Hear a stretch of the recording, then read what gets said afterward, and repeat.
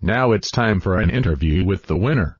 Nils, you just proved everyone that you are still here to win races.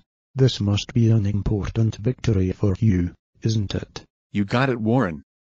I really missed racing over the last months, and now I'm glad to be back on top instantly. You've been pretty sovereign over most of the race mate, even though you had a couple ride-outs.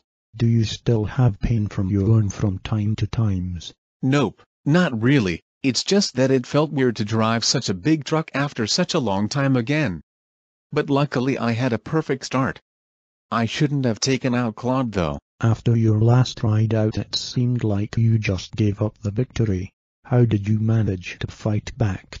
Well, there's not really a huge secret behind it. I just never gave up, but instead gave 100%. I managed to close the gap to Vito and start the attack, which worked. Did you have fun? I absolutely did. Truck racing, especially the rally raid category, needs more attention. Hope you'll also have fun celebrating the victory with your crew. See you again. Thanks Warren. See you too. And that was the interview with today's race winner. Warren, he seems to have your spirit. During your active days you also never gave up when you seemed to be down.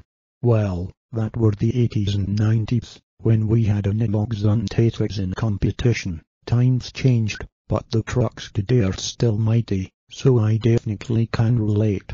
I'm an old man now, but I remember my maiden victory 1987 in the Lüneburger Heide in Germany, when I beat Jan de Rooy in the last corner. I was driving a Mercedes Analog back then. You don't seem old to me. You're 59 and still make a great impression as a test driver for MAN. Let's hope the car class of the Rally Raid round will be just as exciting. I wonder too. I mean, cars are not trucks.